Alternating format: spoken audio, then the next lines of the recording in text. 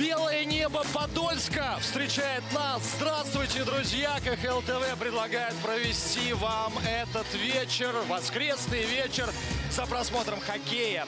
Местный «Витязь» принимает Минское «Динамо». Лишь взглядом проводил полет шайбы. Ну и у Макеева не получается обработка. Это ошибка!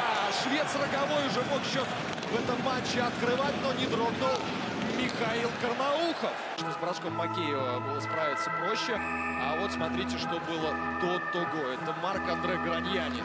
Понятно, что нашло на опытного канадца. Как можно было вообще такую передачу в своей зоне делать? Головков, шайба выходит из зоны. Вот здесь идет борьба за позицию. Нятинин!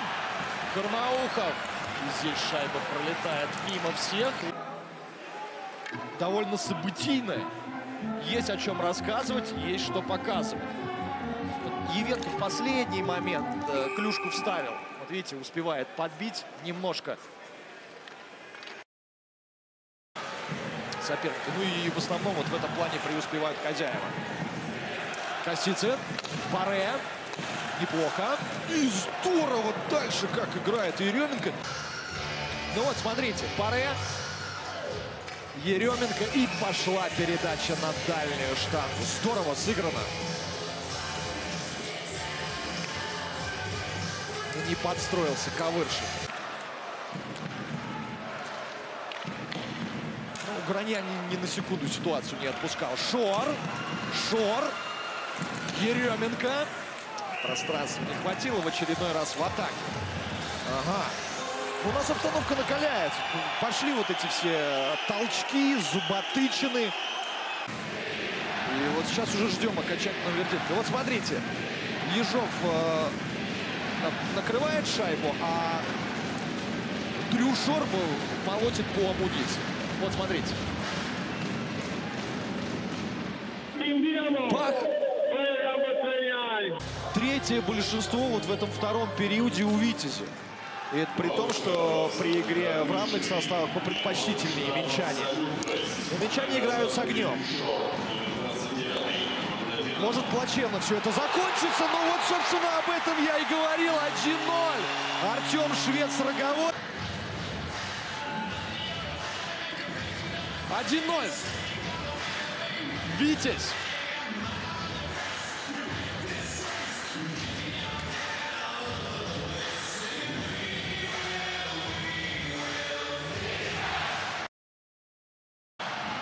Вот у Витязи контратака. Нятине. Но трудно было, конечно, вот этот вот отскок поймать Алтанину.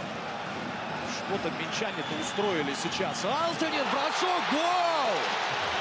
Просто бросили своего вратаря Карнаухова на растерзание. Вот смотрите.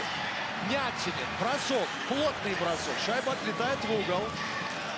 Принц вроде бы шайбу выводит, но это в том-то и дело вроде бы. А два партнера вообще не смотрят на площадку, а уходят меняться. Готовец и Степанов.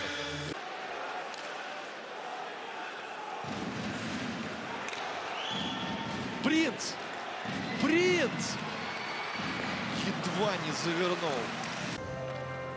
Да, Минская «Динамо» играет на нервах э, своих болельщиков, собственно, и на своих собственных вот в этом третьем периоде все разбазарили, что было нажито непосильным трудом. Да, это вот все очень мучительно выглядит. Для Минска эти мучения заканчиваются. Давайте еще раз заценим. Ну, красавец. Что выбрасывал таким образом, чтобы там никто из динамовцев до этой шайбы не дотянулся. Ну, вы слышите, да, как публика встречает эту победу в Витязе. Молодцы, молодцы, действительно молодцы. Здорово распределили силы на всю встречу. Равный первый период, второй прошел с э, достаточно весомым территориальным и игровым преимуществом Минского «Динамо». 3-0. Илья Ежов лучший игрок матча в составе «Витязи» абсолютно справедливо, ведь выручал в трудный момент, не бросил команду в беде. Так и нужно.